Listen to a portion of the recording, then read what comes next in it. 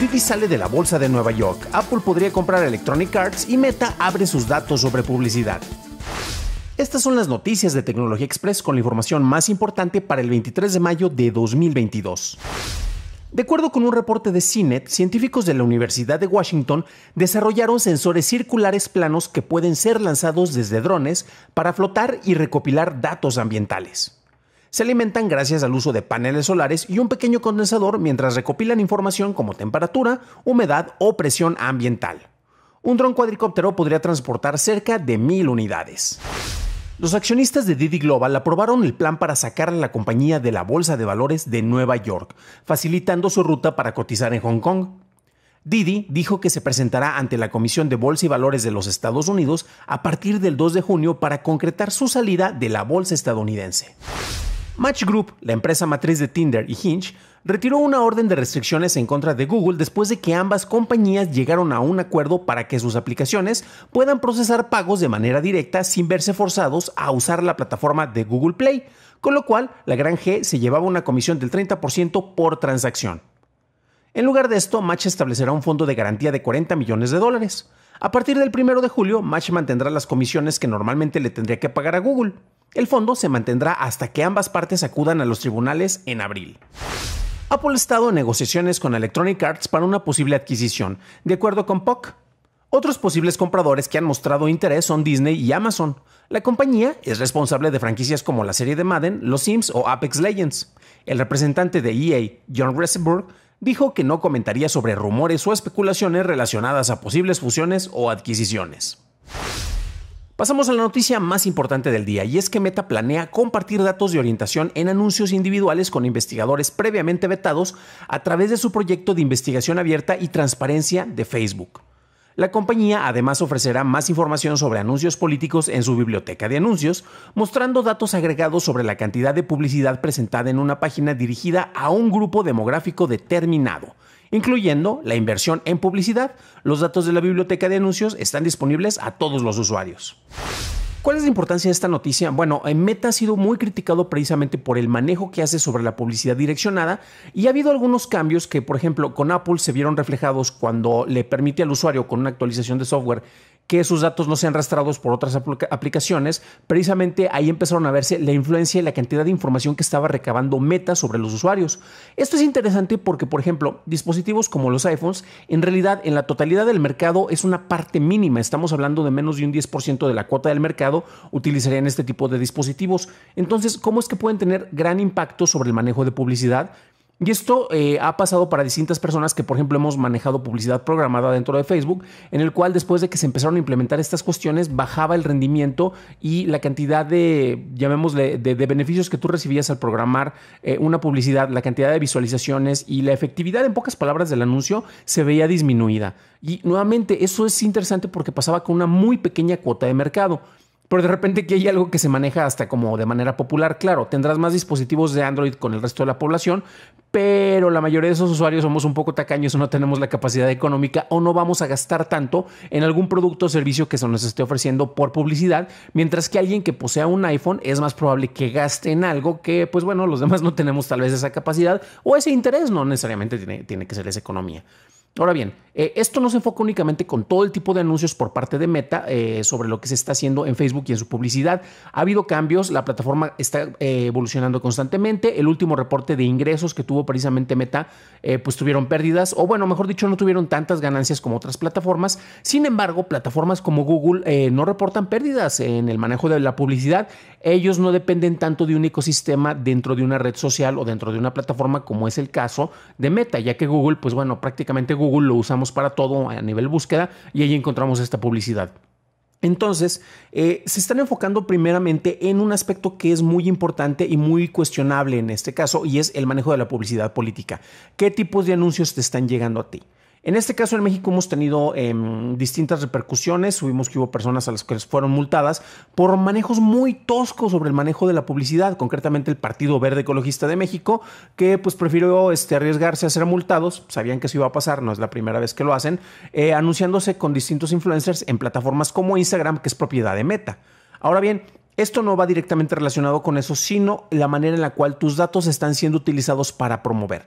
Y si alguno de ustedes ha manejado las plataformas de publicidad eh, y de programación de anuncios por parte de Meta, verá que uno tiene una capacidad impresionante para seleccionar el tipo de público al cual uno se quiere dirigir.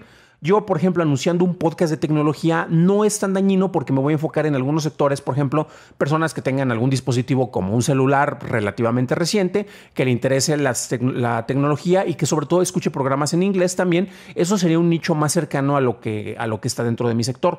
Sin embargo, si yo empezara a buscar algunas cuestiones y la misma plataforma te lo indica, eh, esto pasó hace aproximadamente semana y media cuando estaba anunciando uno de los posts de publicidad de este podcast que están escuchando de Noticias de Tecnología Express en Facebook. Hablábamos acerca del manejo de Bitcoin y sobre cómo esto ha afectado concretamente el gobierno de El Salvador, la cantidad de millones de dólares que se han perdido, que no son tantos, pero sí es una cantidad importante. Y resulta que el anuncio estuvo eh, promocionándose durante aproximadamente tres días y luego me llega la notificación de que no podía continuar con la publicidad ya que podría afectar mi manejo eh, de información con relación a figuras públicas o políticas de, y gobernantes de otro país. Y yo me quedé, pero estoy hablando únicamente de noticias. Pero también entiendo esa cuestión, no me están censurando, simple y sencillamente el tipo de información que yo estaba manejando se relaciona con una figura política como es el presidente Bukele. Estamos hablando del manejo de la economía y ahí pone un indicador y es uno de los avisos que me presentó, yo podría estar perjudicando la imagen del presidente. Bueno, los amigos que nos escuchan en El Salvador, sabemos que tenemos como aproximadamente 100 escuchas por allá, eh, pues verán que la imagen del presidente, y ellos nos lo pueden compartir, nos pueden decir, pues no necesita que yo le esté echando tierra, a final de cuentas sus acciones son las que hablan y aquí estamos reportando las noticias. Yo pude haber apelado esto, pero la cuestión es que yo ni siquiera me enfoqué en que la publicidad fuera a un lugar fuera de México, porque el público principal que tenemos en este podcast es en Estados Unidos y ahora en México. Eh, y para mí me era mm, de mayor rendimiento enfocarme en el público de México para, para que vieran este anuncio para tratar de incitarlos a que escucharan este podcast. Sin embargo, hoy me llegaron notificaciones de que podría afectar la imagen pública de un gobernante de otro país. Es interesante, entiendo la queja, entiendo la restricción, pude haberla pelada, honestamente para la cantidad de dinero que yo manejo para publicidad de este podcast, lo vi relevante, dije, pues no hay problema, quita eso y después vamos a promocionar y vamos a hablar de robots gigantes o de submarinos rusos, no hay, ninguna bronca. Pero cuando uno se, se, adentra dentro del tipo de información que se maneja y lo específico que puedes manejarlo, es interesante y esto efectivamente es muy bueno que se pueda mostrar a investigadores. Vamos a ver también porque no es la primera vez que Facebook abre como que su biblioteca del conocimiento de distintos investigadores y efectivamente pues de repente no es tan, tan no es ni tan abierto ni tan transparente como lo quieren manejar, pero yo esto lo encuentro como algo positivo, especialmente porque eso nos va a ayudar a entender precisamente el manejo que tiene esta publicidad y cómo es direccionada sobre públicos reales fuera de distintas especulaciones. Sabemos, eh, se ha dicho, por ejemplo, eh, de la distinta intervención que tuvo el gobierno ruso para la campaña de Trump, eh, cómo distintas este, compañías han manejado las analíticas precisamente de, de, la publicidad en Facebook para condicionar los votos. Y es que precisamente nuevamente yo me puedo enfocar en el manejo de publicidad en este caso, a personas que tengan tendencia conservadora dentro de la delegación Benito Juárez en la Ciudad de México o que escuchen este programa en la ciudad de León, Guanajuato, eh, un estado y una ciudad que son más conservadores, eh, precisamente para hablarles a ellos acerca de cuestiones que estén muy, muy, muy relacionadas con sus intereses. En mi caso, como nuevamente yo reporto noticias de tecnología, tal vez no tenga tanta relevancia, pero si empiezo a hablar de cuestiones como manejo de economía, manejo político, eh, propuestas que efectivamente se estén promoviendo, relacionadas relacionadas con, políticas personales, políticas privadas, pero que son de, políticas de interés público. Hablemos de cuestiones de salud, por ejemplo, eh, del manejo eh, que se da sobre, políticas de salud como, como el aborto en lugares conservadores. Híjole, ahí ya me estoy poniendo en sectores muy específicos en los cuales efectivamente sería muy interesante eh, ver qué tipo de información y de qué manera en realidad estamos influyendo. ¿Por qué? Porque también tenemos en el manejo de la publicidad, muchos hablan de la publicidad subliminal y que como yo simple y sencillamente puedo estar con ustedes condicionándolos a que compren algo precisamente de, debido a lo que yo estoy mostrando en pantalla, este, a cómo lo estoy consumiendo o a una imagen que se te flashea durante unos segundos. La publicidad subliminal no funciona de esa manera. Si han estudiado un poquito de marketing sabrán, sabrán esas cuestiones, pero tenemos herramientas más sofisticadas. Entonces, nuevamente esto nos ayudaría a entender la manera en la cual se está manejando esto y cómo puede uno manipular o condicionar tendencias al voto. Bueno, esperemos que tengamos resultados sobre estos estudios, pero antes de eso, ¿ustedes qué creen? ven positivo o ven negativo que Facebook abra precisamente sus uh, bibliotecas de conocimiento a investigadores. Déjenlo en los comentarios ya que me interesa saber su opinión. Para un análisis más a detalle en inglés, visita dailytechnewshow.com en donde encontrarás notas y ligas a las noticias. Si encontraste útil este episodio, puedes decírmelo dejando una calificación en Spotify o en Apple Podcast o dejando un like en su versión en YouTube que no te cuesta nada. Por cierto, gracias a los nuevos suscriptores como Justin Arguello y Horacio Domínguez. Bienvenidos a bordo, ¿eh?